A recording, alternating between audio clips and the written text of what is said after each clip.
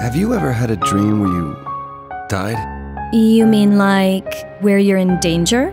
No. No, where you actually die. You're being killed or something. No. I usually do the killing in my dreams. Catherine!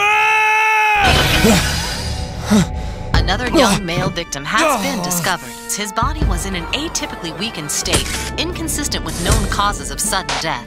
His wife, who he'd been feuding with, found him dead in his sleep this morning. That is all the information we have up to this point. I've sorta been having funny dreams too. I've been having odd dreams recently myself. They say all the men who died were cheaters.